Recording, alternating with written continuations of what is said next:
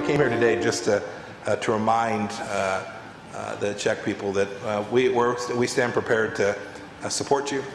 If those countries try to bully you, we'll be right there alongside of you.